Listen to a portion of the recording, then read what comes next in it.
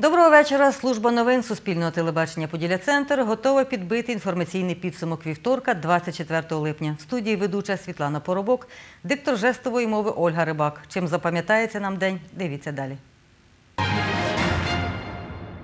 Тривала дощовиця перешкоджає обмолоту ранніх зернових. Через надмірну вологість якість пшениці знижується. Байкери всеукраїнського мотозаїзду за єдність прямують через Хмельниччину з Ужгорода до Хортиці в Запорізькій області. Давнє єврейське кладовище в Красилівському районі може отримати статус пам'ятки культури. Аварія на вулиці Західноокружній у Хмельницькому сталося близько 16-ї години. Про це повідомив прес-секретар патрульної поліції області Роман Мартинюк.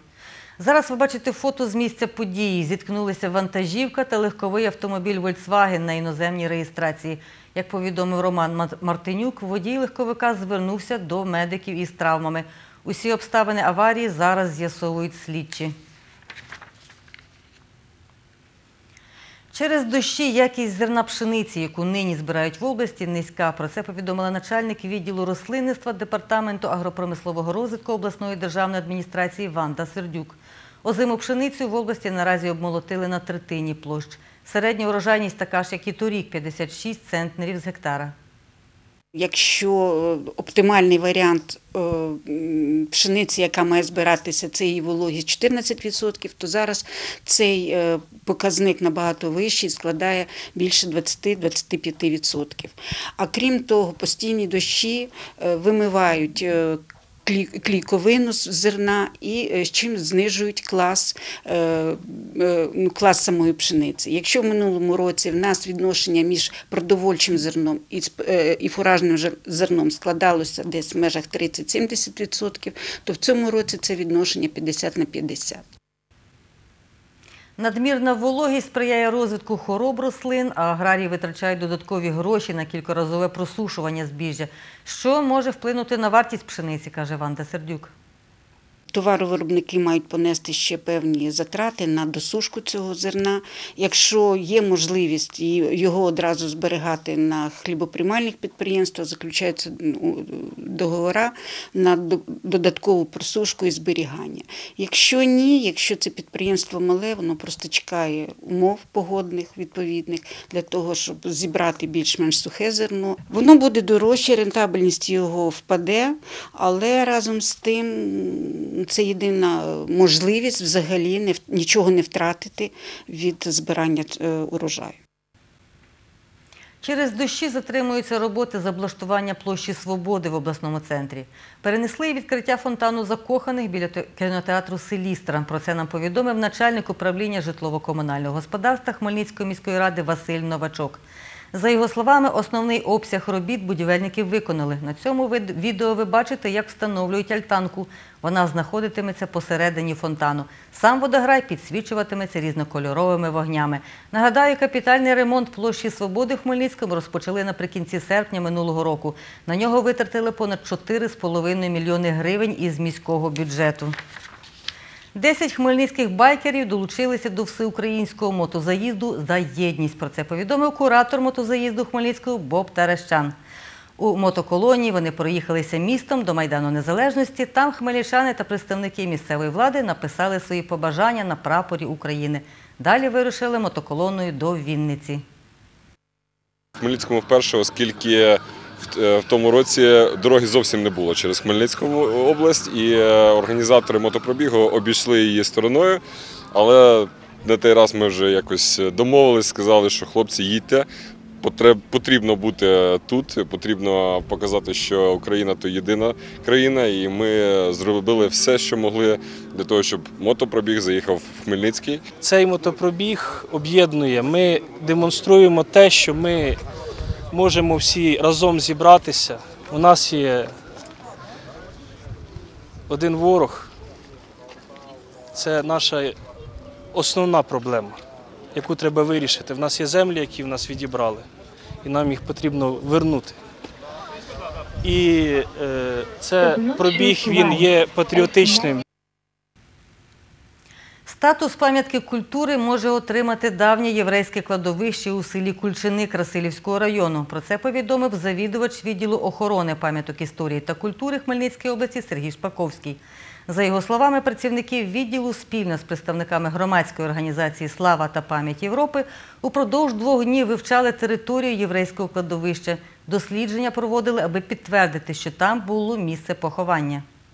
За попередніми даними, їх ще треба досліджувати детально. Це, е, вже комп'ютерна графіка там і висновки професіоналів. Але ми чекаємо ці результати. Е, В принципі, нам відомо, що на тій території знаходиться єврейське кладовище, мабуть, 18 століття. От. Ну і попередньо є ще місця, які плануються дослідити. Е, Це е, місце знаходження, е, де відбувалися розстріли, е, поховання з ось цього Кульчинського гетто. Дослідження єврейських поховань складається з декількох етапів, каже Сергій Шпаковський. Зараз проводиться геосканування. Першочергово проводяться е, початкові роботи з геосканування цих місцезнаходжень. І вони ще не закінчені. Ще є три місця, які потрібно сканувати, дослідити їх, е, зафіксувати те все, надати висновки чіткі, конкретні. Наступні е, етапи це підготовка облікової документації, обґрунтування, на- е, архіви. І відповідно тоді вже надання пропозицій органу охорони культурної спадщини щодо а, надання статусу цим місцям. Археологи України і Західної Європи проводять археологічні розкопки в Меджибужі. Перемогу у 47-му всеукраїнському чемпіонаті з пішохідного туризму здобули хмельничани. 17-річний спортсмен із Волочиська Дмитро Курдебаха повторив норматив майстра спорту з важкої атлетики. Шість волонтерів міжнародної організації SCI працюють у Меджибужі. На території фортеці вони займаються археологічними розкопками. З якою метою приїхали, розкаже Дарина Денисенко. 27 годин дороги потягом та автобусом. Так до Меджибожа зі Швейцарії діставався волонтер Пол Робертс. Хлопець каже, в Україні вперше приїхав, аби більше дізнатись про українську культуру. У Меджибожі він та волонтери міжнародної організації SCI допомагають археологам. Ми багато чого зробили. Нам навіть дозволили проводити археологічні розкопки. Я був дуже здивований. Моя головна мотивація була поїхати туди, де я ще не був, та познайомитись з людьми, з якими я б продовжив спілкуватися. До того ж, я ніколи не був так далеко від дому. Тож подорож до України це пригода для мене. Еліан Прайсвик також приїхала на Хмельниччину зі Швейцарії. До цього побувала в Ужгороді та Києві. Я планувала долучитися до цього табору в будь-якому випадку. Я була в Україні до цього. Я думаю, це прекрасно. Тому що якби я відпочивала на пляжі, мені було б нудно.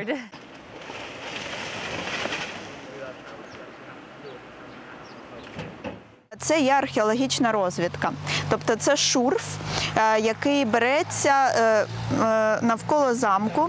14 або 16 таких ям виривається, щоб побачити, де закінчується стіна.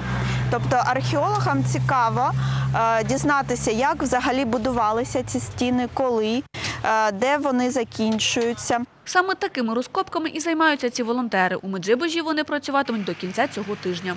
В нас є представники з Фінляндії, Італії, Швейцарії, ем, та ще Іспанії, ну і Україна. Люди е, одразу ж вирішили, зробили систему якусь собі, тобто вони е, конвейерним методом один копає, потім інший копає, потім інший носить. І коли ти так е, е, разом і відпочиваєш, і працюєш, все дуже швидко. Дарина Денисенко, Володимир Паламар. Новини Поділля Центр.